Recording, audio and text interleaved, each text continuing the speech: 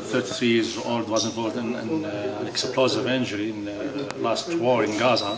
So he had a lot of injuries, mainly in his left leg, which was comminuted, comminuted fractured and uh, infected too much. So it's uh, refused to heal the fracture, as you see in the X-ray. Uh, so uh, a lot of infection pass. So we bring the patient, we brought the patient here to see our colleagues, our friends from UK, to discuss the management with this patient.